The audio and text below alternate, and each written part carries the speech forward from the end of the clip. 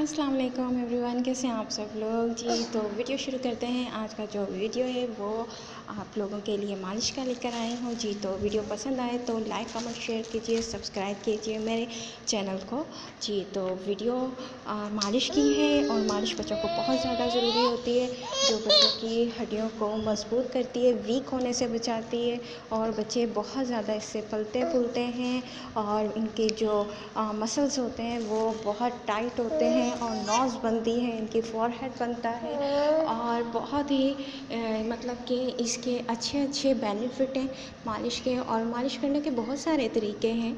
काफ़ी लोगों की अलग मालिश होती है काफ़ी नॉर्मल हाथों से करते हैं लाइट हाथों से करते हैं और काफ़ी लोग सख्त हाथों से करते हैं।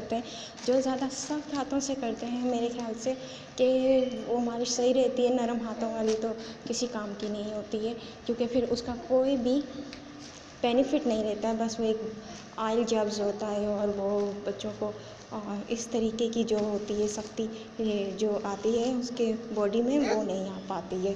तो इसलिए बच्चों को नॉर्मल मालिश करें, इतनी ज़्यादा सख्त भी ना करें, ना इतनी नरम करें नॉर्मल सी हो, और इसकी बाजू वगैरह और शोल्डर वगैरह और ये जो सामने सीने की छाती होती है चेस्ट की, इसके ऊपर की जाती है क्योंकि हड्डियाँ बाहर निकलने का ख़तरा होता है फॉरहेड बाहर निकलने का ख़तरा होता है नोज़ फैलने का बहुत ज़्यादा ख़तरा होता है। तो इसलिए इनको बिठाने के लिए मालिश बहुत ज़्यादा ज़रूरी होती है और इस तरह कानों में भी ऑयल हल्का हल्का लगा दिया जाता है नोज़ में भी लगा दिया जाता है और और पूरे जिसम पे लगा के अच्छे तरीके से मालिश की जाती है।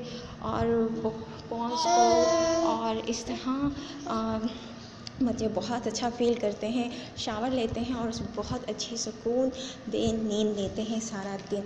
और इस तरह बाजू किए जाते हैं ताकि इस तरह इनकी वर्जिश हो जाती है और ये बहुत ही अच्छा रहता है बच्चों के लिए। और आप इसे सिक्स मंथ तक कर सकते हैं बच्चों को।